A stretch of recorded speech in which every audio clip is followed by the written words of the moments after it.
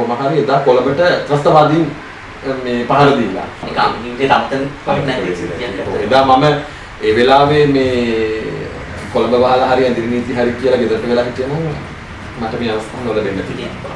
හා. ඉතින් මම ස්වර්ණවාහිනී ලයිව් එකේ කණ්ඩායමත් එක්ක සම්බන්ධ වුණා. මොකද මම සිරස වැඩ කරන ගාම මම ලයිව් එකේත් බැලුවා ඒ කාලේ. ඉතින් මම ඒ කාලේ ලයිව් එකට හරි ජනප්‍රියයි. හරින්ද ජාලමත් හරින්ද ජාලා හරින්ද ජාලා හිටියා. ඒ දෙයක් තමයි මම කිසිම නාලිකාවක තිර පරීක්ෂණයකට සහභාගී නොවි තමයි මම යන්නේ. ඒක මම දන්නේ ඒක මට පුදු රටක් අවුලවන්න හරි රටක් සමතවන්න හරි පුළුවන් ওই වචන ගැත්තර. ලොකු වගකීමක් තියෙනවා. ලොකු වගකීමක් ඒ හරිය නිකන් දැලිපියෙන් කිරි කරනවා කියලානේ කියන්නේ. හරි පරිස්සමෙන් කරන්න ඕන රස්සාවක් ඉතින් ඒව නෑ. එහෙම කරන්න පුළුවන් වෘත්ති නෙවෙයි මේවා. මේවා 24 කය අවදියෙන් කරන්න ඕන වැඩ සහ ලොකු වගකීමක් සහිත වැඩක්. එතකොට ඒක ආසියාවේ වඩාත් කැපී පෙනෙන ප්‍රවෘත්ති නිවේදක කියන සමහර 28ක අය සමන්දකදී සලකා බලන තිබුණේ. ඔබේ නම නිර්දේශ වෙලා තියෙනවා. ඕන නිර්දේශ වෙලා තිබුණා සහ දැන් මාව සම්මානයට ඒගොල්ලෝ පාස් කරලා තියෙනවා. ලංකාවේ ඉන්නවා. ඔබ වගකීම් දෙයක් කියන්නේ මොකද මේ? ඔබ මේ ඔව් මේ දේශේ උදව් කරන්නේ. වගකීමක් කියන්නේ. ඒක ඕන කෙනෙක් අහුවොත් කියන්නේ. කඩේට පක්ෂපාතී නම් තියාගන්න. ඒක තමයි ලංකාවේ තියෙන්නේ. ලංකාවේ මාර්ගය කියලා කියන්නේ. ඒක හොරයක්.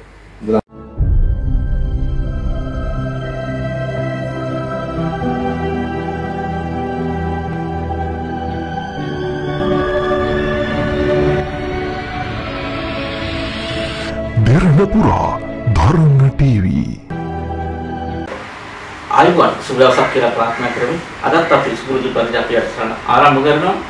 දරණ ටීවී යුඩි ප්‍රාන්තාවත් එක්ක තමයි ඔයාලට ඒක කියලා සිටින්නේ. මේ වෙනකොට මම හිතනවා ඔයාලා දන්නවා අපේ මේ සාකච්ඡාවල කවුරුන්ද එකතු වෙලා සිටින්නේ කියලා. රටක් ගන්න ලොවක් ගන්න ජනමාධ්‍යවේදී අත්‍තරම කිව්වොත් මේ දවස්වල ගොඩක් යුඩි නාලිකාවල ඒ වගේම කතාවකට ලක්වන මාධ්‍යවේදී ඔහු විශේෂයෙන්ම විශේෂත්වය දක්වන්නේ ප්‍රවෘත්ති නිවේදනයේට. ඒ වගේම මේ දවස්වල ඔහුගේ අලුත්ම නාලිකාවක් ඔහු විසින් පටන් ගන්න තියෙනවා. ඒ පිටුවත් අපි තොරතුරු විමසා ගැනීමට කැමතියි එහෙනම් අපි බලමු අද අපේ සාකච්ඡාවට සම්බන්ධ වෙන්නේ කවුරුන්ද කියලා. මේ නදීක කරුණානායක. ආයිබෝන් අයිබෝන් ඔව් එතකොට නදීක නදීක අපි කියන්නද? අපි මහණයා කියන්නද? කවුරු කියන්නද? අයියා කියලා කියන්නේ. ඔව් නදීක අයියා එතකොට මේ බලමින් අපි හිතනවා අපේ ප්‍රේක්ෂක ඉරිස ඔබතුමාගෙන් දැනගෙන ගැනීමට කැමති ගොඩක් කරුණු කාරණා තියෙනවා. ඒකට මම කැමති ඇත්තට මේ දවස්වල පොඩි කන්සෙප්ට් එකක් තියෙනවා අපි ගමෙන් පටන් ගමු කියලා. මම කැමති ඔබතුමායි ගමෙන් මේ පටන් ගන්න. ඒකට ගම කොහෙද කියලා පොඩ්ඩක් දැනගන්න කැමතියි. ගම කියන්නේ මේ ඔබ ඇවිල්ලා ඉන්නේ මගේ ගම මේ උපන් ගම. මම ඉපදුනේ නම් යාබද ගම්පහ දිස්ත්‍රික්කයේ දිවුල පිටියේ මගේ උපන් ප්‍රදේශය. ඊට පස්සේ ඉතින් තාත්තයි ගමට ආවා. මේ පන්නල කුරුණෑගල දිස්ත්‍රික්කයේ බොහොම සුන්දර ගම්මානයක්. එක පස්සකින් මාවේ ගලාපසිතා. මේ පැත්තෙන් බැලුවොත් පුත්තලන් දිස්ත්‍රික්කයේ සීමාව. මේ පැත්තෙන් බැලුවොත් ගම්පහ දිස්ත්‍රික්කයේ සීමාව. ඉතින් පන්නල තමයි මගේ අවුරුදු දැන් 40ක් ගත කරන්නේ මගේ කාලයක් ගත කරා. එතකොට මේ දැනගැනීමට කල්ද පාසල මේ මම දැකලා තියෙනවා මේ මේ ගෙදරක් තිබ්බා මේ නිකන් ආජීවිත සංගමයක මේ පින්තූරයක තිබ්බා. මොකක්ද මේ පාසල පන්නල ජාතික පාසල එකේ ඉඳලා 13 වෙනකම්ම ඉගෙන ගත්තේ පන්නල ජාතික පාසලේ. ඉතින් මගේ පාසලත් එක්ක සම්බන්ධතා තියෙනවා. ඉතින් මම කොහේ හිටියත් කොච්චර කාර්යබහුල වුණත් මගේ පාසලත් එක්ක ඒ ගනුදෙනුව තියෙනවා. උගන්වනවා තියෙනවා සහ මට පුළුවන් යුතුයකම් ප්‍රමාණය මම මගේ පාසල වෙනුවෙන් ඉටු කරන කෙනෙක්. ඒතර පාසලෙන් තවමත් ඔබට මේ මම හිතනවා සහයෝගයක් ලැබුණා ඉදිරි වැඩ කටයුතු වලට කියලා. ඔව් විශේෂයෙන් පාසල ගැන කතා කළොත් මොකද මාව නිර්මාණය කරන්න මගේ පාසල. මට මතක් වෙනවා පන්නල ජාතික පාසලේ වේදිකාව. ওই වේදිකාවට මාව නගන්නේ ඉස්කෝලේ හිටියා මේ ස්වර්ණලතා කියලා මගේ වාණිජ්‍ය විද්‍යා ගුරුතුමිය. ඉතින් එතුමිය තමයි මාව වේදිකාවට නගවන්නේ. නිවේදකෙක් විදිහට. ඊට කලින් මගේ සිංහල ආචාර්යවරු මාව සිංහල භාෂා තරංගවල කතික විවාදකෙක් ගායකයෙක් විදිහට මාව පෝෂණය කරලා තිබුණා. හැබැයි මාව නිවේදකෙක් විදිහට වේදිකාව උඩ අරගෙන ගියේ ස්වර්ණලතා ගුරුමෑණියන්. මම හිතනවා මේ වෙලාවේ ඉපත් කරනවා. එතුමිය නම් ආඩම්බර වෙනවා ඇති. වගේ පුත්තෙක් ඔය එතුමිය ගොඩක් මම සතුටු වෙනවා. මොකද එතුමිය වාණිජ්‍ය විද්‍යා ධාරාව හදාරන්නේ උගන්වන්න තමයි පාසලට පැමිණියේ. හැබැයි එතුමිය පාසලෙන් විශ්‍රාම යනකම් පාසලේ කලා කටයුතු වලට තමයි පුදුමාකාර දායකත්වයක් ලබා දුන්නේ. මම විතරක් නෙමෙයි මගෙන් පස්සේ දැනට ජාතික රූපවාහිනී ප්‍රවෘත්ති කියන ශාලිකා ඉදිරිසිංහ සහ තවත් අ, ගෝල බාලයින් රැසක් එතුමිය දී කළා. ඔව්. ඊට පස්සේ පාසලෙන් පස්සේ ඔබ කොහෙද යන්නේ? නිකන් වෘත්තීය මේ පැත්තකට යොමු වෙනවා. ඒතකොට මොකද්ද මේ නිවේද ඒක නිවේදන කටයුතු වලට යනවද මාධ්‍යයට යනවද නැත්නම් වෙනත් වෘත්තියකට යොමු වුණා? ඔව් මම පාසල් යන කාලෙම තමයි මගේ හීනේට ළඟා වෙන්න ඕන කියලා මම හිතාගන්නේ. නිවේදකෙක් වෙන්න උවමනාවක් තිබුණා මම ඒක කලිනුත් කියලා තියෙනවා. මට වඩා මේ හීනේ තිබුණේ මගේ අම්මට. මොකද අම්මා හරි කැමැත්තෙන් හිටියා ඒ කාලේ ගුවන් විදුලියට යන්න. හා හා හරි. රේඩියෝ සිලොන් එකට යන්න. ඉතින් එතුමියට එතනට යන්න බැරුව ගිය නිසා ඒ ඉලක්කය මට යන්න ඕනේ වුණා. අම්මා නිතරම මාව තරංග වලට දාන කොටක් කිව්වේ කවදා හරි මේ නිවේදකෙක් වෙන්න ඕන කියලා. ඉතින් මම විභාගෙ ලිව්වට පස්සේ මගේ ගමේ තිබුණා මිනිතුරුණු ශක්ති හමුව කියලා එකක්. මිනිතුරුණු ශක්ති හමුව කියලා. ඒ කියන්නේ මේ ප්‍රදේශයේ මේ කටුකම්පල ආසනේ තරුණ තරුණිය එකතු කරලා මිනිතුරුණු ශක්ති කඳවුරක් තිබ්බා. ඒ නිවේදන, ගායන, නර්තන වගේ දේවල්. ඉතින් එතනදී මම නිවේදන පැත්තෙන් දක්ෂතා පෙන්නුවා. සහ මගේ කටහඬ අහලා ශ්‍රී ලංකා ගුවන්විදුලි සංස්ථාවේ ඇන්ටන් ජයමහ කියන ප්‍රවීණ නිවේදක මහත්මයා ඇවිල්ලා හිටියා සහ වැඩසටහන් නිෂ්පාදකවරයා. ඔහු මාව කොළඹට අරගෙන යනවා. විසිර සංස්කෘතික විකාශයේ අලුතෙන් ශ්‍රී ලංකා ගුවන්විදුලි සංස්ථාවේ විකාශයක් පටන් ගත්තා. ඒක සංස්කෘතික කටයුතු අමාත්‍යාංශය ලක්ෂ්මන් ජයකුඩි කියන තුරු සංස්කෘතික කටයුතු අමාත්‍යවරයා තමයි හිටියේ. ඔහුගේ මැදිහත් වීම මත ලංකාවේ පළවෙනි වතාවට සංස්කෘතික රේඩියෝ එකක් පටන් ගත්තා. ඒකේ ආරම්භක නිවේදකයෙක් විදිහට මාව තෝරගත්තා. ඒක සිංහල අංශෙන් තමයි කියන්නේ. ආ. ඔව්. එතකොට ඔය විසිර සංස්කෘතික විකාශයේ අ, සම්මුඛ පරීක්ෂණය පැවැත්වෙන දවසක් හරිය අමුතුයි. මොකද ඒක මට ජීවිතේ අමතක නොවෙන දවසක්. මට ටෙලිග්‍රෑම් එකක් ආවේ. ටෙලිග්‍රෑම් එක ඇවිල්ලා ඉන්ටර්විව් එකට එන්න කියලා. අනකොට කොහොම හරි එදා කොළඹට ත්‍රස්තවාදීන් මේ පහර දීලා බ්ලාස්ට් එකක් වෙලා නවලෝක මේ හන්දියෙන් වහලා කොළඹට ඇතුල් වීම තහනම්. නමුත් ඉන්ටර්විව් එක කොහොම හරි එදා දවසේ තියෙනවා කියලා පස්සේ ඒක සීදුවට ගෙනත් තිබුණා. සීදුව තමයි ඉන්ටර්විව් එක තිබුණේ. ඉතින් එදා මාව තෝරගත්තා. ඒක. තමයි නිවේදකෙක් විදිහට ගමන් ආරම්භ කියන්නේ. එදා මම ඒ වෙලාවේ මේ කොළඹ වහලා හරි ඇඳිරි නීති හරි කියලා ගෙදරට වෙලා හිටියනම් මට මේ අවස්ථාව නොලැබෙන්න තිබුණා. ඒක අපිට මේ රටට නිවේදක මහත්යෙක් එහෙම නැත්නම් මාධ්‍යයට අවශ්‍ය කරන වැදගත් වටිනාකමක් තියෙන පුද්ගලෙක් අහිමි වෙන්න තිබ්බා. ඔව් මම හිතනවා එතනින් එහාට ඔබ පළවෙනිට සම්බන්ධ වෙන්නේ මොන ඔව් මම ශ්‍රී ලංකා ගුවන්විදුලි සංස්ථාවත් එක්ක වැඩ කරා. ඊට පස්සේ මම සහන නිවේදකයෙක් විදිහට වැඩ කරේ. ඊට පස්සේ ශ්‍රී ලංකා ගුවන්විදුලි සංස්ථාවේම වෙළඳ සේවය පවන රේඩියෝ වශයෙන් නම් වෙනස් වෙලා තරුණ ජවයකට එක එවකට හිටපු සභාපතිතුමා සහ මේ අධ්‍යක්ෂ බෙන්රාල්තුමා අ, ස්වර්ණ ගුණවර්ධන මහත්මයාගේ කළමනාකාරීත්වය වැඩසටහන් කළමනාකාරීත්වය යටතේ එතනත් මම ඒ ආරම්භක සංනිවේදක කණ්ඩායමේ සමාජිකයෙක් විදිහට වැඩ කරා. ඊට පස්සේ ඔය අතර ඉන්නකොට තමයි මම මේ channel I ප්‍රවෘත්ති නිවේදකයෙක් ඒ විදිහට channel line නායිකාවද එතකොට ඔබේ මුල්ම රූපරාමව ඔව් මගේ මුල්ම රූපරාමුව channel I නාලිකාවේ. ඉතින් මට ඒකත් හරි අමුතුයි මොකද මේ මම ශ්‍රී ලංකා රූපවාහිනී අභ්‍යාස ආයතනයේ පාඨමාලාවක් කළා. ඒ පාඨමාලාවේ දැන් ලංකාවේ දැන් ප්‍රවීණ නිවේදක නිවේදිකාව කීප දෙනෙක්ම මේ පාඨමාලාව මාත් එක්ක හැදෑරුවා. ඒ ඒ කාලේ අංකුර නිවේදක නිවේදිකාව. එතකොට මේ පාඨමාලාවේදී මාව ප්‍රවෘත්ති පැත්තෙන් තෝරාගෙන තිබුණා. එතකොට මගේ කැසට් එකක් ඒ කියන්නේ අන්තිමට අපි රෙකෝඩින් එකක් කරනවා. ඒ රෙකෝඩින් එක ශ්‍රී ලංකා රූපවාහිනී සංස්ථාව බලලා තිබුණා. ලාල් හේමන්ත මාවලගේ මහත්මයයි නිශාන්ත අල්විස් මහත්මයා ගිහිල්ලා තමයි ওই කැසට් එක බලලා තිබුණේ. බලලා ඉවර වෙලා මාව තෝරාගෙන තිබුණා. ඒ හිටපු සෙට් එකෙන්ම තෝරාගෙන තිබුණේ මාව විතරයි. එතකොට channel I නාලිකාවේ පළවෙනි සිංහල ප්‍රවෘත්ති නිවේදකයා වුණේ මම. මමත් එක්ක චමින්ද ගුණරත්නත් ජාතික රූපවාහිනියට එන්නේ එතනින් තමයි. ඔව් අ, එතනින් පස්සේ ජාතික රූපවාහිනියෙන් පසු ඊළඟට සම්බන්ධ වෙන්න ඔබ ඔව් මෙහෙම මම ජාතික රූපවාහිනියේ ප්‍රවෘත්ති නිවේදකයෙක් විදිහට පමණයි හිටියේ. මට අවශ්‍ය වුණා වෘත්තීය ජනමාධ්‍යවේදියෙක් වෙන්න ඕනේ. මොකද ඒ වෘත්තිය කියන කැලලක් ඇවිල්ලා මොකද වෙනස? කියන්නේ දැන් රූපවාහිනියේ මම හිටියේ නිවුස් රීඩර් කෙනෙක්. විදිහට. මගේ කාර්යය තමයි හවසට ගිහිල්ලා නිවුස් එක කියලා දෙන එක. ඔව්.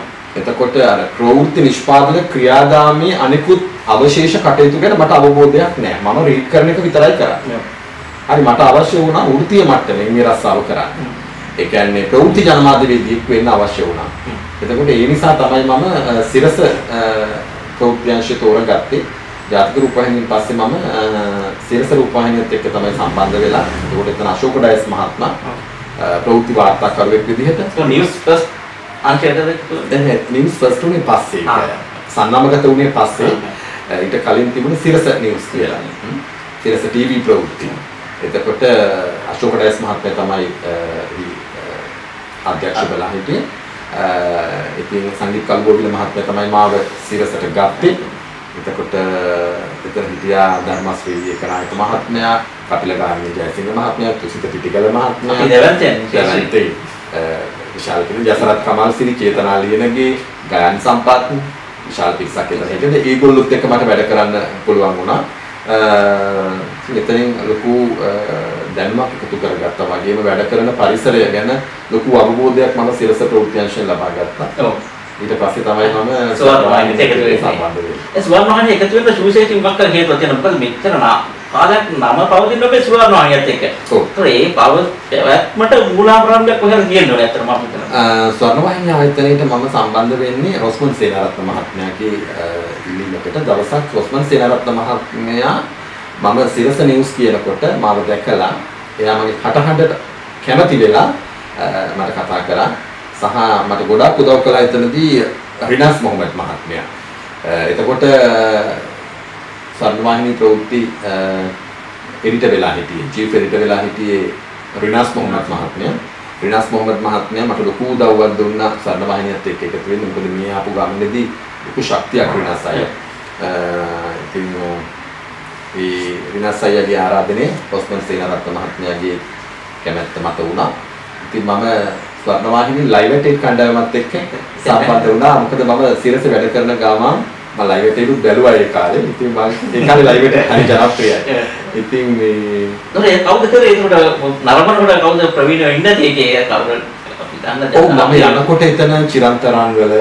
එතකොට ක්ලෝඩ් ගුර්බෑවල තුෂාරි හේමමාලි සංජය දිසානායක ජාලන මහත්මයා හරින්ද්‍ර ජයලා හරින්ද්‍ර ජයලා හිටියා. ඒ සෙට් එක තමයි මම කිව්වේ. ඒ සෙට් එක තමයි ලයිව් එකේට ඇදගෙන. ඉතින් උතට ගිහලා මම හේත් වුණා. මම සිරසේ වැඩ කරලා ගියා. රූපවාහිනියේ වැඩ කරලා ගියත් මම ආධුනිකෙක් විදිහට තමයි ගිහිල්ලා අර සෙට් එකත් එක්ක එකතු වුණේ. විශේෂයෙන් පස්සේ කාලේ කෙටි කාලයක් යනකොට යාළුවා මගේ හොඳම යාළුවා වුණා. ඒක කණ්ඩායමට වැටුණා. ඉතින් ගියා ගමන. එතන ඉඳලා වසර කීයක් ඔබ ලයිව් මම 17ක් අවුරුදු හිටියා ස්වර්ණවාහිනියේ. ස්වර්ණවාහිනිය අවුරුදු 17ක්. මම කදයක් තමයි මම කිසිම නාලිකාවක තිර පරීක්ෂණයකට සහභාගී නොවි තමයි මම යන්නේ. ඒක මම දන්නේ ඒක මට පුදුමයක් මම කෙලින්ම ඔබ කෙලින්ම මම යනවා මම දන්නේ මොකදද මම ගන්නවා කෙලින්ම දැන් සාමාන්‍ය නිවේදක නිවේදිකාවක් බදව ගන්නකොට තිර පරීක්ෂණයක් තියෙනවා. එහෙනම් ඔබට ඔපරට දුන්නා කියන අපිට ඒ නරකට වැඩිය මේක එහෙම කියන්නත් බෑ. ඔෆර් එකකටත් වඩා මම දන්නේ ඒක මගේ වාසනාවක් සහ කැඳවීමක් කියලා මට හිතෙන්නේ. මේ දෙවියන්ගේ කැඳවීමක්ද දන්නෙත් නෑ. හරි. සිරසට යනකොටත් අශෝක ඩයිස් මහත්තයා මගේ ස්ක්‍රීන් ටෙස්ට් එකක් කළේ නෑ. සාමාන්‍ය ස්ක්‍රීන් ටෙස්ට් දෙකක් තුනක් හතරක් පහක් කරලානේ තෝරගන්නේ. ඔව්. සිරස ආයතනයෙන් මට කවදාවත් ස්ක්‍රීන් ටෙස්ට් එකක් කළේ නෑ. තිර පරීක්ෂණ කරලා මාව ගත්තේ නෑ. මාව සංගීත අයියා කෝඩිනේට් කරා. මට එන්න කිව්වා. මම හෙඩ් ඔෆිස් එකට ගියා. ඊට පස්සේ එතනින් මම නිවුස් රූම් එකට ගියා. දවස් දෙකක් විතර වගේ වැඩ කරන පරිසරය බලාගත්තා. ඊළඟට රීඩ් කරා. රූපවාහිනියත් එහෙමයි. තිර ඒ තිර පරීක්ෂණ නෑ. ස්වර්ණවාහිනිය තිර පරීක්ෂණයක් නෑ. ස්වර්ණවාහිනියෙන් ගියදාට පහුවදාම දෙකද ස්පෝර්ට්ස් සෙග්මන්ට් එක පුසන් කරන්න ඕන. ආ ස්පෝර්ට්ස් පැත්තත් කරා ඒකට කියන්නේ අපි දන්නේ ප්‍රධාන ඔව් ඉස්සර මේ ලයිව් ඇක්ටිවිටි එක ස්පෝර්ට්ස් සෙග්මන්ට් එක වෙනම. ප්‍රවෘත්ති මේ ඉදිරිපත් කරනකොට ක්‍රීඩා වලට වෙනම නිවේදකයෙක් ඉන්නවා. ටික කාලයක් ගියා ඊට පස්සේ ඉතින් මම හෙඩ් ටේබල් එකේ මේන් ටේබල් එකේ ඉඳගත්තා. ඉතින් ඔය විදිහට තමයි තාම මේ මගේ ශේෂ්ත්‍රයට ඇවිල්ලා අවුරුදු ගාණක් ගියත් තිර පරීක්ෂණයකට මම තාම යොමු වෙලා නැහැ. එතකොට දැන් අපි සාමාන්‍ය යම්කිසි දැනකට අලුතෙන් වැඩක් පටන් ගන්නකොට යම්කිසි චකිතයක් තියෙනවා. දැන් ඔබටත් එහෙම චකිතයක් තියෙනවද? මොකද අලුත් දැන් හැම ටේබල් එකේම අලුත් අලුත් දේවල් හම්බෙන්නේ. එතකොට මට මේ බයක් කියන එකක් ඇත්තටම නැති වෙලා නැහැ. මගේ ජීවිතේ බය කියන එක නැහැ. මම ඕනම දෙයකට ඉදිරියට වැඩ කරනවා. ඒක තියෙනවා මට. ඒක මම කඩාගෙන යන චරිතයක්. ඒක නිසා මට බයක් නෑ. මට මේක නුහුරු තැනක් නේද? මේක ආගන්තුකයි නේද? නෑ. මම ඒ කඩාගෙන යනවා. ඒක ඒ ගතිය මට තිබුණා. ඉතින් ඒක තමයි එක්තරා විදිහකට මට ඒක වාසියක් වුණා මේ මාධ්‍ය ශාස්ත්‍රයේ ඉදිරියට එන්න.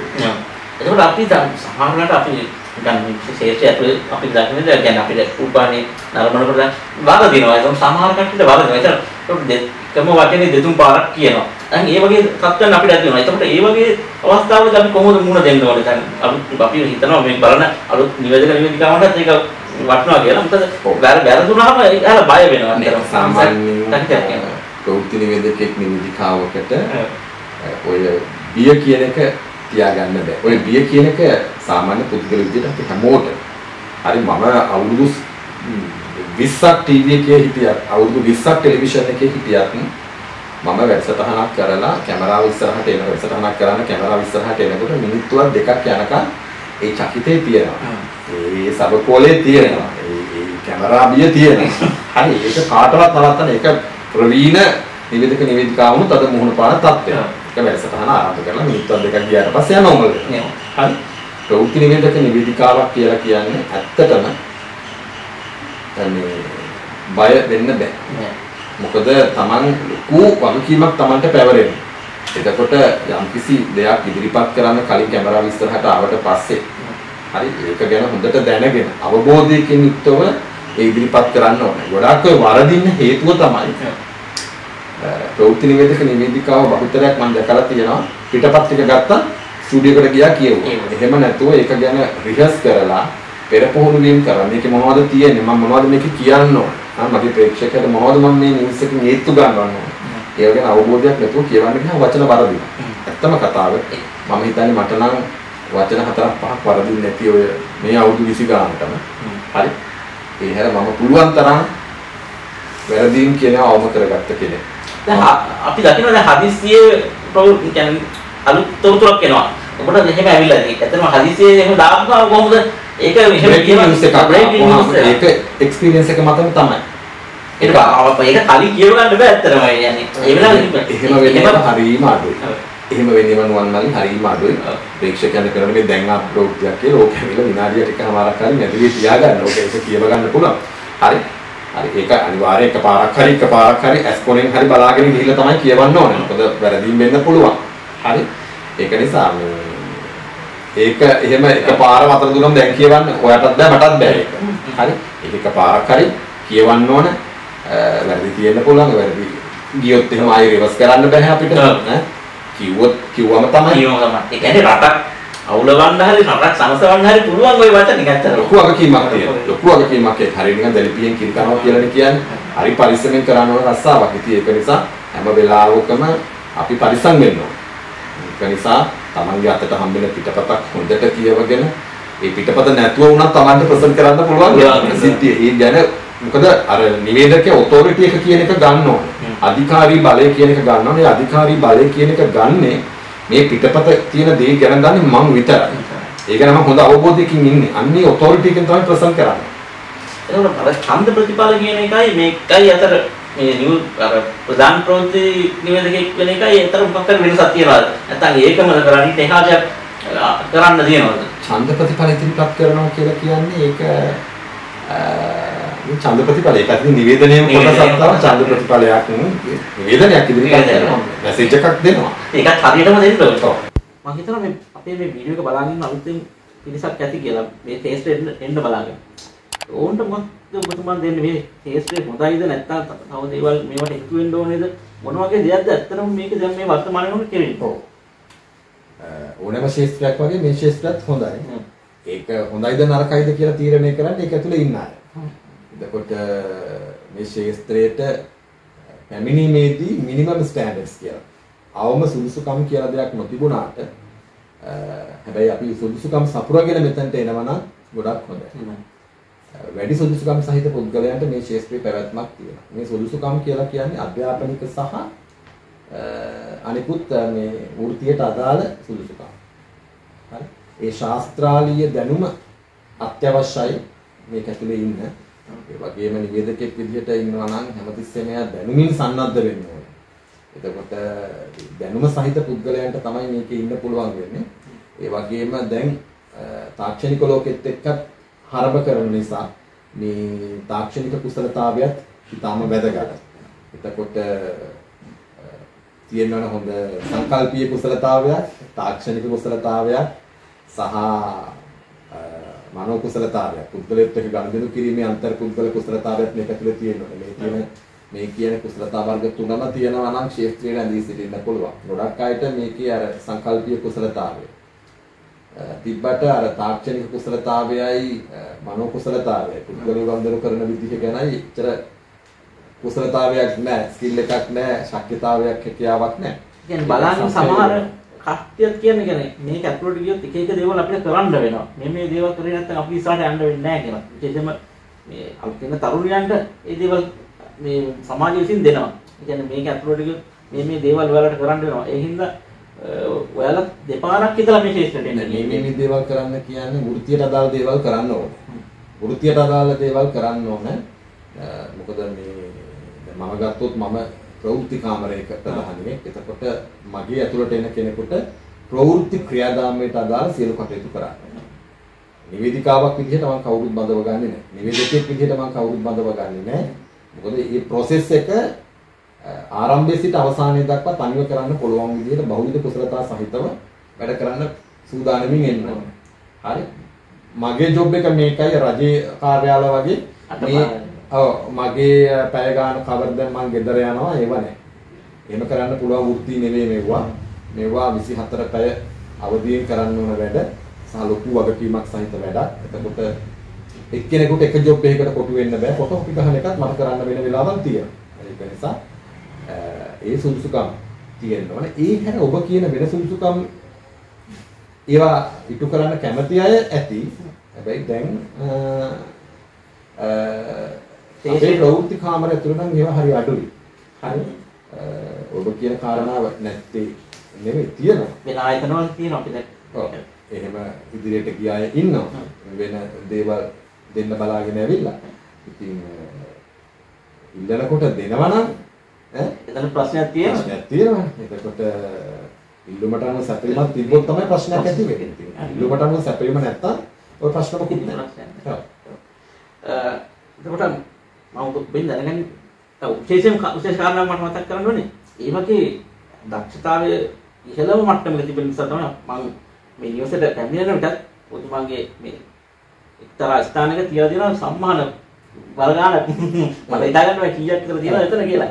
ඇත්තටම මේ මේ සම්මාන ආවේ කොහොමද? ඇත්තටම මේ කියන්නේ වැඩ කරපු නිසා ආවද සමහරව අපි දන්නවා සම්මාන සමහර විදිහේ එක එක විදිහට දෙනවා සම්මාන මේ රටේ. මෙතන තියෙන සම්මාන මේ රටේ ජාතික සම්මාන වල ළඟ හම්බ වෙච්චා. ඒ කියන්නේ රයිගම් සුමති සහ රාජ්‍ය සම්මාන ඒ වගේ හම්බ වෙච්චා. ඉතින් මේ සම්මාන නම් මගේ මහන්සියෙන් මගේ හැකියාව තක්සේරු කර ලබා දීපු සම්මාන මොකද ඒවා ඒවා හිටපු මිනිස් මණ්ඩල සමාජික සමාජිකානුත් දන්න මගේ හැකියාව කොහොමද කියලා සහ මගේ ප්‍රේක්ෂකයන් දන්නවා මගේ වෘත්තියට අදාළව මගේ හැකියාව කොහෙද තියෙන්නේ කියලා. තව සම්මාන ගොඩාක් තියෙනවා. ඒවා ඉතින් එක එක සම්මාන හම්බ වෙච්චා. ඊට අමතරව ආසියානු සම්මානය ආසියානු පොඩක් මතක් කරගන්න. ඒක ආසියානු රූලා සම්මාන වල ඒක දෙසැම්බර් මාසයේ ඉන්දියාවේ තියන්න තියෙන්නේ. නමුත් තාම නිශ්චිත නැහැ. නමුත් සාමාන්‍ය කුමන මොහොතක ලැබෙනවා කියන එක මම දන්නවා. මොනාශයෙන්ද ඒක ආසියාවේ වඩාත් කැපී පෙනෙන ප්‍රවෘත්ති නිවේදක කියන කැටගරි රටවල් 28ක අය තමයි මෙතනදී සලකා බලලා තිබුණේ. ඔබ නම නිර්දේශ වෙලා තියෙනවා. ඔව් නිර්දේශ වෙලා තිබුණා සහ දැන් මාව සම්මානයට ඒගොල්ලෝ පාර්ශ්ව කරලා තියෙනවා. අපිට බොහොම සතුටුදායක ආරංචියක් එක්ක අතන ඉදිරියේදී ලැබෙන තියෙන සම්මානය. දැන් මේ වෙනකොට ඔබට ලැබිලා තියෙන සම්මාන මොනවද? සුවර්ණ වාහිනියකට මම දන්නවා සම්මාන හම්බ වුණා. සියලුම සම්මාන ස්වර්ණවාහිනිය ඇතුළේ ඇතුළේ ඉන්නකොට හම්බ වුණේ. 2005න් පස්සේ හම්බෙච්ච සම්මාන. 2014 වෙනකන් හම්බෙච්ච සම්මාන 17 පස්සේ මට තාම සම්මාන. ප්‍රේක්ෂක ඉස්සරහට එන්න හම්බුනේ නැහැ. හරි.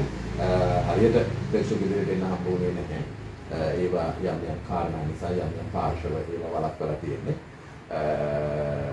මම පොඩි කාරණා මතක කරගෙන කැමති මේ අය මේ ශේෂ්ත්‍රය ඇතුලේ කැපිලි අයින් ඉවත් කිරීම මේ වගේ දේවල් තියෙනවද ඇත්තටම? ඒවා හරියට වැඩි. ප්ලේට් තල හරියට වැඩි. පුද්ගලයින්ට ලොකුම ප්‍රශ්නේ තමයි ඒක. මේ සම්මානයක් ලැබෙනවා කියලා කියන්නේ මම අනිවාර්යෙන් දන්නවා ඊළඟ දවසේ කැපිල්ල කියන එක. සම්මාන ලැබෙන්න ලැබෙන්න ඔබට එන කැපිලි ප්‍රමාණය වැඩි. අ, ඔබට බාහිර සමාජයෙන් ඇගයීම් ලැබෙන්න ලැබෙන්න ආයතන ඇතුලෙන් ලැබෙන අ, කැපිලි වැඩි. ඒක තමයි සිස්ටම්. මේ ශේස්ත්‍රය අ, හොඳ පැත්ත වගේම නරක පැත්තකුත් තියෙනවා. එතකොට ම්, දක්ෂයින්ට තැනක් නැහැ. බොහෝ කලකිරීම මැද තමයි මේ දක්ෂ ලංකාවේ සියලුම මාධ්‍ය ආයතනවල ඉහළම ඉන්න නිවේදක නිවේදිකාවෝ සහ වැඩසටහන් නිෂ්පාදකවරු සියලුම දෙනා මේ මොහොතේ ඉන්නේ අතිශය කලකිරීමකට. හ්ම්. ඒකට හේතුව තමයි ඒ කැපීම. ඔය කැපීමේ කප්පාදුව ඒක තියෙනවා මම හිතන්නේ හරිම අ, අ, අවාසනාවන්ත දෙයක් ඒක. ම්, කෙනෙකුට එයාගේ දක්ෂතාවය හරියට එළියට දාන්න අ, කිසිම නාලිකාවකින් ඉඩක් දෙන්නේ නැහැ. හරි ඒක වළක්වනවා. යම් යම් බලවේග තියෙනවා. ඒ බලවේග විසින් ඒවා අ, හසුරුවනවා. ඒක නිසා ගොඩක් අය දක්ෂ නිවේදක නිවේදිකව දැන් කවුද? ටෙලිවිෂන් එකේ ඉන්න නිවේදක නිවේදිකාවෝ දක්ෂ සේරම එළියේ ඉන්නේ කියලා බලන්න. බලන්න.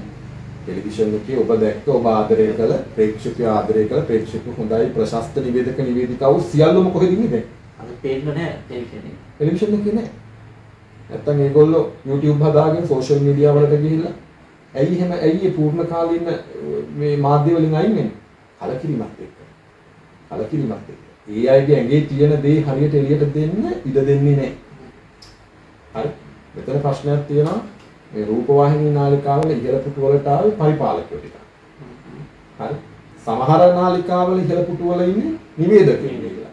නිවේදකයෙක් උඩ පුටුවකට ගියාම වෙන දේ තමයි ඊට පල්ලෙහෙන්න තමන්ගේ වර්ගය උන්ට කපන එක. හරි ඒක නිසා ටෙලිවිෂන් නාලිකාවල අයිතිකරු මේ ඉදිරියට ඔය ඉහළ පුටුවල නිවේදක නිවේදිකාව ගන්න එක නවත්තන්න. ඉහළම පුටුවලට. ඉහළම පුටුවලට. හරි. ඒගොල්ලෝ ගත්ත ගමන් වෙන්නේ නාලිකාවේ අභාග්‍ය සම්පාදකයන්. අලුතෙන් එන කොල්ලෙකුට කෙල්ලෙකුට එන්න දෙන්නේ නැහැ ශේෂ්ත්‍රය. අලුතෙන් හැදෙන ලස්සන වැඩසටහනකට හොඳ concept එකකට ඉඩක් දෙන්නේ නැහැ. හරි. ඇත්ත කතාව. නිවේදක නිවේදිකාව කියලා කියන්නේ හරිම කුහක කට්ටිය. දැන් හිතාගෙන ආ. සුන්දර උත්තරේ බාහිර පෙනුම ලස්සන සුන්දරත්වය ලස්සනට hina වෙලා ඉන්නවා. හැබැයි ඒගොල්ලෝ බහුතරයක් කුහකයි. ඒක මම බය නැතුව කියනවා. මම හැමෝම ආශ්‍රය කරලා ලංකාවේ ඉන්නවා. ඔබ වගකීම් දෙය කියන්නේ මොකද මේ ඔව්. මේ ඔව්. මේ දේශීය පුත්‍රයන්ට උදව් කරන්නේ වගකීමෙන් කියන්නේ. ඒක ඕන කෙනෙක් අහුවොත් කිය. ශේෂ්ත්‍රයේ ඉන්න බහුතරයක්. මම කියන ඔක්කොම නෙවෙයි බහුතරයක්. දැන් ඔබ මේ මේ ශේෂ්ත්‍රේ නැති හින්දා මේ දේ කියනවා කියලා කියන්නේ කියන්නේ සමහර. ශේෂ්ත්‍රයේ නෙමෙයි ශේෂ්ත්‍රයේ ඉන්නවා. ශේෂ්ත්‍රයේ ඉන්නවා. බහුතරයක්. ඒකයි. බය නැතුව කියන්නේ. අත්දැකීමෙන් කියන්නේ. ඒ ඔබේ කටින් ප්‍රකාශ කරනවා කාටවත් බය නැහැ කතා කරන්නේ. ඇත්ත කතාව ඒකයි. බහුතරයක් එහෙම. තමයි දෙන්නේ දෙන්නේ සහට. ඒ වගේ තත්ත්වයක් තියෙනවා. මේ දේශපාලන කියන කාරණාව කොහොමද බලපාන්නේ මේ මේ ශේෂ්ත්‍රය ඇතුලේ? මේක කර්මාන්තයක් නිසා දේශපාලන පරිසරය බලපානවා. හරි. ව්‍යාපාරිකට පරිසර දෙකක් බලපානවා. සාර පරිසරයේ සූක්ෂම පරිසරය. සාර පරිසරය කියන්නේ විශාල වශයෙන් පුතුල වශයෙන් පැතිරිච්ච ශේෂ්ත්‍ර ඇතුලේ තියෙන දේශපාලන පරිසරය මෙතන බලපාන. ඒකට මේ දේශපාලන පරිසරය අනුව අ මාධ්‍යගත හැසිරෙන වෙලාවල් තියෙනවා. ඒකට ආණ්ඩු මාරු වෙනකොට නිවේදකේ මාරු වෙනවා ප්‍රධාන මේ ජාතික නාලිකාවල අපි දැකලා තියෙනවා ජාතික නාලිකාව තුළ ආණ්ඩුවක් මාරු වෙනකොට ඒ වැඩ කරන පිරිස අයින් කරනවා. ඉවත් කරනවා ගෙලින්ම අයින් කරනවා. ඒක කට්ටියට යන්න තැනකුත් නැහැ බාර ගන්න පිරිසකුත් නැහැ ඔහොම මෙතන මාධ්‍ය ශේෂ්ත්‍රයෙන් ඉවත් වෙනවා. ඔව් කඩේ කඩේ අපි හිතමු මේක සිල්ලර කඩයක් මේ මේ කොත්තු කඩ මේ හෝටලයක් කියලා හිතමුකෝ අපි. කෑම කඩයක් කියලා හෝටලයක් කියලා. මේ හෝටලේ අවුරුදු දෙකෙන් දෙකට හරිද අවුරුදු පහෙන් පහට හරි වෙන කෙනෙක් අතට යනවා නම් ආ මුදලාලි මාරු වෙනවා නම් මුදලාලි කැමති විදිහට කොත්තු බාස් තියාගන්න. අර කොත්තු බාස් හොඳයි නම් තියාගන්න. කඩේට පක්ෂපාතී නම් තියාගන්න. ඒ වගේ තමයි ලංකාවේ තියෙන්නේ. ලංකාවේ මාධ්‍ය කියලා කියන්නේ අනික හොටලයක්. මුදලාලි කෙනෙක් ඉන්නවා කොත්තු බාස්ලා ටිකක් ඉන්නවා. මුදලාලි ඕන විදිහට කොත්තු ටික හැදෙනවා. කොටි ටික දැනෙනවා. ඒක තමයි වෙන්නේ. ඒක නිසා තමයි ලංකාව වෘත්තීය ජනමාධ්‍ය වේදිකයක් ලංකාවේ දකින්න හම්බ වෙන්නේ නැත්තේ. ඇවිල්ලා තනි කරම දේශපාලන ඕනේ පාතාම ඉටු කරගෙන ආයතන. ඒක ඇවිල්ලා දේශපාලනයේම කොටසක්. මොකද දේශපාලකයාට මාධ්‍ය ආයතනෙ නැතුව බෑ මාධ්‍ය ආයතනක දේශපාලකයා නැතුව බෑ. මේ දෙකොල්ල අතර අන්නෝම එකමුතුවක් තියෙනවා. කවුරු හරි කෙනෙක් කියයි අර නාලිකාව ආණ්ඩුවට එරෙහි නේද කියලා නෑ නෑ මේ නාලිකාව ආණ්ඩුවට එරෙහි නෑ. හරි? ආණ්ඩුවට එරෙහි නෑ. ආණ්ඩුවත් එක තමයි ඉන්නේ. හැම නාලිකාවක්ම ආණ්ඩුවත් එක තමයි ඉන්නේ. මිනිස්සු තමයි ඉතින් අසරණ. ඒක දුෂ්කර භාවයක් මේ ශේෂය ඇතුළේ තියෙන ඔබ කියන විදිහට. ඉන්ද රැඳෙන්න රඳා පැවැත්ම ඉතාම මේ. ක්ෂේත්‍රය එළියෙන් බලනකොට හරි සුන්දරයි. හරි ප්‍රියමනාපයි. හරි? මේක ඉන්න මිනිස්සු හරි නේත්‍රාකර්ශනීයයි. චිත්තාකර්ශනීය මිනිස්සු ඉන්නේ. ඒකට ආවට පස්සේ තමයි මේ මේ මේ සියල්ල වෙනස් වෙන්නේ. මේක තමයි යථා ස්වභාවය කියලා අපි හිතනවා ඔබ මම කියන විදිහට. අපි බලාපොරොත්තු වෙනවා ඔබ වැනි තවත් තරුණෙක් එහෙම නැත්නම් පරපුරේ පුද්ගලෙක් මේ ශේෂ්ත්‍රයට මේ වීඩියෝ එක දැකලා ඔබේ මේ කියපු වචන ටික අහලා අලුතෙන් අපේ ශේෂ්ත්‍රයට එහෙම නැත්නම් මේ මාධ්‍ය ශේෂ්ත්‍රයට එක් වෙයි කියලා. කලකිරීම ඇති කරගන්න එපා මම කිව්ව දේත් එක මම යථාර්ථය කතා කරන්නේ. ඒ දේ දැනගෙන ඉන්න ඕනේ මොනවද ඇත්ත. ඔව් ඉතින් මේක මම නම් කියන්නේ හැමදාම කිව්ව දෙයක් තමයි කවුරු හරි කෙනෙක් වෘත්තියක් විදිහට තෝරගන්නවා නම් අර කියපු සුදුසුකම් සහිතව මේ කියන වටපිටාව තේරුම් අරගෙන පොරොත්තු දෙන්න පුළුවන් නම් මෙතනට එන්න. එහෙම නැත්නම් කාන්තරේ ඇඟේ තියෙන නිවේදකයෙක් වෙන්න ආසාවක් ආ, වෙන වෘත්තියක් තෝරගන්න මේක හොබි එකක් විදිහට කරන්න. මේක අර්ධකාලීන රැකියාවක් විදිහට නැත්නම් මේ වැඩ ඇරලා අ, සතියන්තේ නිවාඩු දවස් දෙකේ ටෙලිවිෂන් ප්‍රෝග්‍රෑම් එකක් ප්‍රසන්ට් කරලා රේඩියෝ ප්‍රෝග්‍රෑම් එකක් අ, ඉදිරිපත් කරලා ඒ ආත්ම තෘප්තිය ලබා ගන්න හොබි එකක් විදිහට පාවිච්චි කරන්න.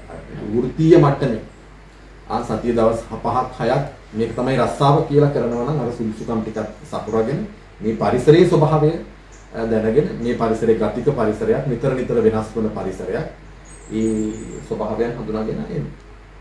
ඒ විදිහට આવොත් රඳා පැවතුනොත් ඔව්. එහෙනම් අද අපේ වැඩසටහන නිමා කිරීමට කාල කාලය පැමිණෙන්න තිබෙනවා. ඔව් අද අපේ වැඩසටහන සහභාගී වුණේ ශ්‍රී ලංකාවේ සිටින ප්‍රවීණ මාධ්‍යවේදී අනික කමලානායක මහත්මයා. එහෙනම් ඔබතුමන්ට මෙහෙම ස්තුතියි අපේ වැඩසටහන සහභාගී වුණාට. ඔබට යමක් අවසාන වශයෙන් මේ ප්‍රේක්ෂකයන් සහ මේ වැඩසටහන පිළිබඳව කියන්න තියෙනවා කියන්න පුළුවන්. බොහොමත්ම ස්තුතියි නුවන් මල්ලි මට මේ වැඩසටහනට ආරාධනා කිරීම සහ ඔබ අපේ ගෙදරට ඇවිල්ලා මේ වැඩසටහන පටිගත කරන සමාජීය විවිධ ක්ෂේත්‍රවල විවිධ මතධාරීන්ට ධරණ නාලිකාව ඔස්සේ මේ ලබා දෙන ශක්තිය මගේ කර සලකනවා. ඒ වගේම ඔබගේ මේ කටයුත්ත ඔබගේ YouTube නාලිකාව දවසින් දවස ආකර්ෂණය වැඩි වෙලා ඔබේ ඉලක්ක සපුරා ගන්නට ඔබට ශක්තිය ධෛර්ය වාසනාව නිරන්තරයෙන් ලැබේවා කියලා ප්‍රාර්ථනා කරනවා. ඒ වගේම ප්‍රේක්ෂකයන්ගෙන් මම ඉල්ලීමක් කරනවා මගේ අලුත් නාලිකාව ගැන වචනයක් කතා කරන්න. අනිවාර්යෙන් අනිවාර්යෙන් කතා කරන්න. ඉතින් මේ නාලිකාව ටික දවසකින් ආරම්භ වෙනවා. දැනට අපි POTV 127 ඔස්සේ සහ ඩයලොග් 23 ඔස්සේ පරීක්ෂණ විකාශය ආරම්භ කරලා තියෙනවා. ලංකාවටම දැන් ඒක ඩයලොග් TV සහ POTV හරහා නරඹන්නට පුළුවන්. ඒ වගේම බස්නාහිර පළාත මේ වන විට සාමාන්‍ය රූපවාහිනී නාලිකාවක් සේ නරඹන්නට පුළුවන්. ඒ වගේම ඉදිරි කාලයේදී ලංකාව පුරාම එය නරඹන්නට පුළුවන්කම ලැබෙනවා. අ, ත්‍රිවිධ මාධ්‍ය ජාලය තමයි මේ නාලිකාව. එතකොට ඒකේ ප්‍රවෘත්ති සන්නාමය තමයි ත්‍රිවිධ 24. ත්‍රිවිධ 24. දැන් මේ වෙනකොට අපි ත්‍රිවිධ 24 අපේ ප්‍රවෘත්ති අංශයේ සෝෂල් මීඩියා ප්ලැට්ෆෝම් එක ආරම්භ කරලා තියෙනවා. වෙබ් එකයි අ, Facebook, Twitter, YouTube, Instagram. හරි? මම අ, ආදරණීය ප්‍රේක්ෂකයන්ගෙන් ඉල්ලීමක් කරනවා අපේ YouTube නාලිකාව නරඹන්න. රටේ තොටේ ලෝකයේ සිදුවන සිදුවීම් පිළිබඳව එසැනින් දර්ශන සහිතව තොරතුරු දැනගන්නට පුළුවන්. ත්‍රිවිධ 24 YouTube නාලිකාව subscribe කරන්න. ඒ වගේම අපේ වෙබ් අඩවියට පිවිසෙන්න ඕනෑම අවස්ථාවක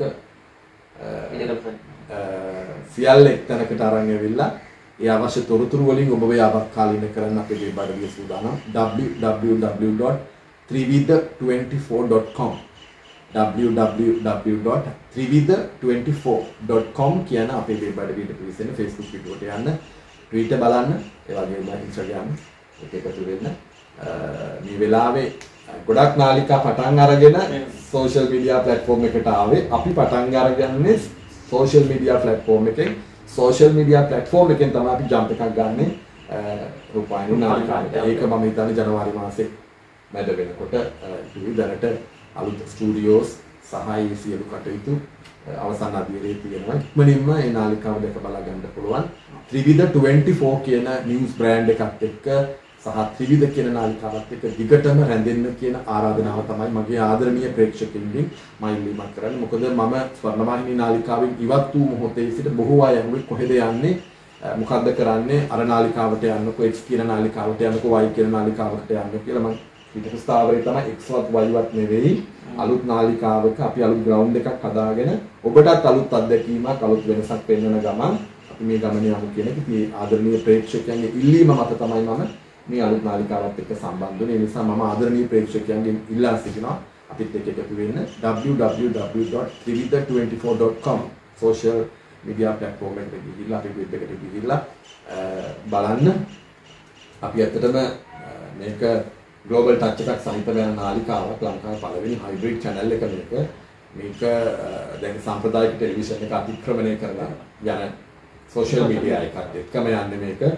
ඊළඟට මේක ඩයලොග් ටීවී එකෙන් පියෝ ටීවී එකෙන් බලන්න පුළුවන් ඒගොල්ලෝ නෝමල් ටීවී එකෙන් බලන්න පුළුවන් ඒ වගේම බස් එකේ දුම්රිය යනකොට මොබයිල් ෆෝන් එකේ ඇප් එක through ඇප් එක ඩවුන්ලෝඩ් කරගත්ත ගමන් ඇප් එකෙන් සියලු වැඩසටහන් ලයිව් බලන්න පුළුවන් ඒක දැන් ලෝකයේ වෙනස් වෙලා තියෙන ට්‍රෙන්ඩ් එක වෙනස් වෙලා තියෙන සාම්ප්‍රදායික ටෙලිවිෂන් එක දැන් අර ඇන්ටනා හයි කරගෙන දැන් සංඛ්‍යාත උස්සේ ගිය ටෙලිවිෂන් දැන් ඉවරයි ෆෝන් එකට ඇවිල්ලා තියෙන ටෙලිවිෂන් අතේ ගෙනියන මේ ටෙලිවිෂන් එක. ඉතින් අතේ ගෙනියන ටෙලිවිෂන් එකක් නිර්මාණය කරන ලංකාවේ පළවෙනි වතාවට ත්‍රිවිධ මාධ්‍ය ජාලයෙන් වෙනස තමයි ලංකාවේ ෆස්ට් හයිබ්‍රිඩ් channel එක බවට පත් වෙනවා.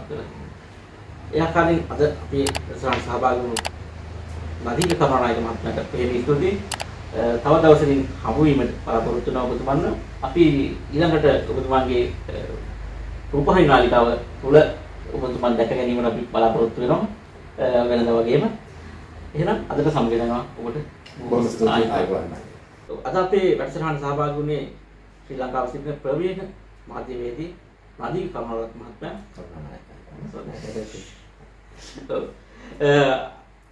අද අපේ වැඩසටහන සහභාගී වුණේ නදී කරුණානායක මහත්මයා. ඉතින් අද අම්මා නායක ගොඩක් අය වර්ධිනවා.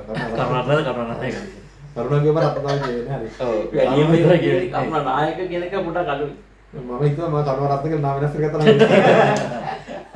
ඒ තරම් කියනවා.